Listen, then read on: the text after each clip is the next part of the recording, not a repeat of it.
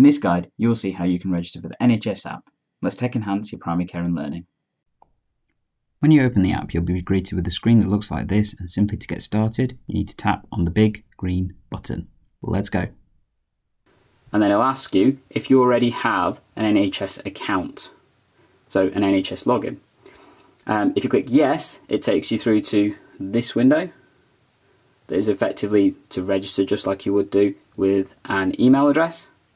Uh, if you don't, you can click no and it'll take you to set up an NHS login as you can see here. And then simply to do that, you put your email address in, put a password, and then agree to the security documentation and stuff to continue. So we're going to join up once we've done that. When you've done so, it'll send you an email to your registered email address to log in. As you can see here, I've just covered up my email address. And then you just simply click continue. Once you've got the email, just click on the link. Do make sure to check your junk folders to make sure it's not gone there by mistake. It is a very quick process, so it should only take a matter of a minute or so. And then simply put, you put the registration information here. So I'm going to do that right now. Once you've done that, it'll ask to send a code to your mobile phone number that you've used to register the device with. So just enter your number there.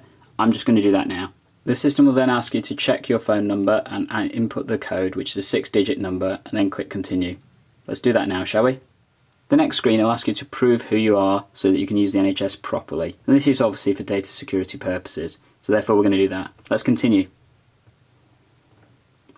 In order to continue, it will ask you to provide details from your practice to prove who you are.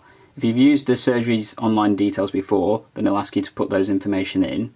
If you haven't, then it's okay. So I'm going to say no. I'm going to try another way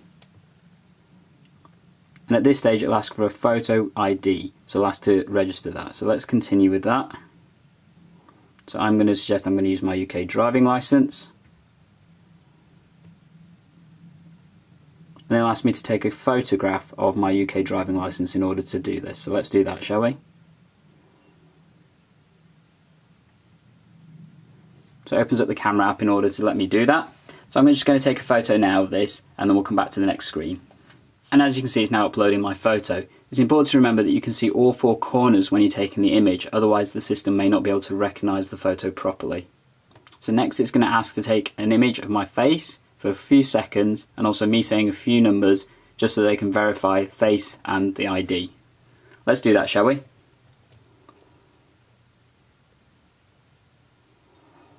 So it gives you particular four numbers that you have to say.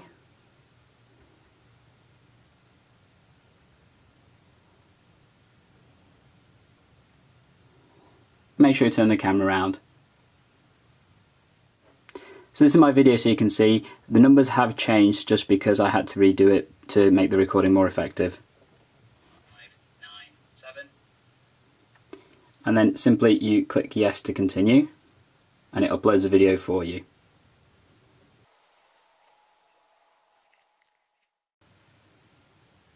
So then asks you for your NHS number. I'm going to click continue um, I don't know my NHS number like many people, so I'm going to click no. And it's going to ask for my details. So put my name in, continue, put my date of birth. I'm afraid you guys aren't going to see this part. And then it asks for your postcode. Once you've inputted your postcode, it asks you to confirm the information and submit it. And then it lets you know that it'll be in contact within the next couple of hours. It normally takes about this long, but can be quicker. After a short while, you'll be able to register with the app once you've submitted all the information. There is a possibility you may have to submit the photo or the video again. If that's the case, it's dead easy to do. Make sure the images are clear and stuff. Um, but it's very quick, can take up to two hours at the most. And I've done that now. So I'm going to go log in now using my details. So go back to the app and click login. And then this time I'll say, yes, I do have an NHS login. And scroll down and continue. They'll ask for your email address and password, so I'm just going to put those in now and then we'll click continue. And when you do that, it will then send a security number to your mobile phone that you've used when you register. So I'll ask you for a code. I'm just going to put that code in. So this is the code sent to my mobile number. I'm just going to click continue. It asks to connect to my GP surgery, so I'm going to click continue.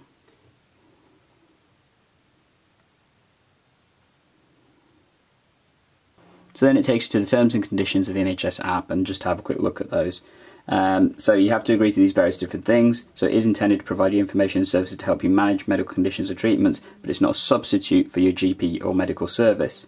Information available through the NHS app comes from third parties, um, and they're not responsible for the information from that.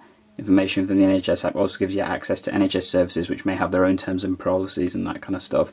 And it uses a little bit of cookies and stuff and things to make sure that it works effectively. So I'm going to click yes and yes and then continue. And that is how you register for the NHS app. If you want to check out a more detailed guide, have a look at this video coming up right here. And alternately, YouTube's probably recommending another video for you right here.